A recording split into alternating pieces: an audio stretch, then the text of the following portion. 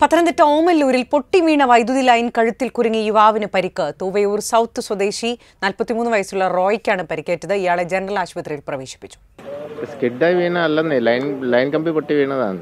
Line കമ്പി പൊട്ടി ഞാൻ ബൈക്ക് ഓടിച്ചുകൊണ്ടിരിക്കുന്നു ഓടിച്ചുകൊണ്ടിരിക്കുമ്പോൾ കഴുത്തേ വന്നൊരു കമ്പി ചുറ്റുന്നു. ആ അതേ ഉള്ളൂ. അതേ എനിക്കറിയുള്ളൂ. അല്ലാതെ ലൈൻ പൊട്ടി കിടക്കുവോ അങ്ങനെയൊന്നും അല്ലായിരുന്നു. പെട്ടെന്ന് ഒന്ന് കഴുത്തേ കുരുങ്ങായിരുന്നു. ഇതാ സംഭവിച്ചു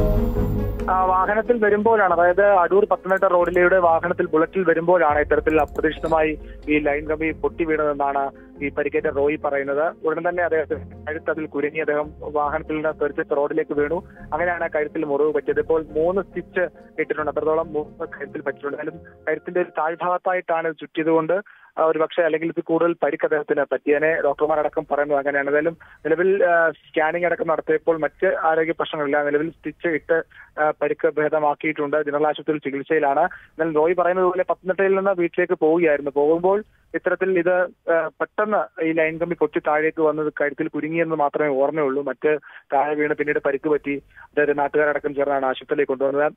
നിലവിൽ ഈ ഭാഗത്ത് എല്ലാവർക്കും രാവിലെ മുതൽ ഈ കാറ്റിൽ പല ഭാഗത്തും വൈദ്യുതി ബന്ധം തടസ്സപ്പെട്ടതിനാൽ ഈ പ്രദേശത്തും ഈ അപകടം നടന്ന ഓമലൂർ ഭാഗത്തും വൈദ്യുതി ബന്ധമില്ലായിരുന്നു കറണ്ട് ഇല്ലായിരുന്നു അതുകൊണ്ട് തന്നെ ആ രീതിയിലും ഒരു അപകടം ഒഴിവായി എന്ന് വേണം പറയാൻ. എന്തായാലും അപ്രതീക്ഷിതമായിട്ടാണ് ഇത്തരത്തിൽ ഈ ലൈൻ കമ്പി അതും പ്രധാനപ്പെട്ട റോഡിലൂടെ കടന്നു പോകുന്ന ഈ ലൈൻ പൊട്ടി താഴേക്ക് വീഴുകയും ബൈക്ക് യാത്രികനായ റോയിയുടെ കരുത്തിൽ കുരുകുകയും വീണ് പരിക്കേൽക്കുകയും കരുത്തിൽ പരിക്കേൽക്കുകയും ചെയ്തു.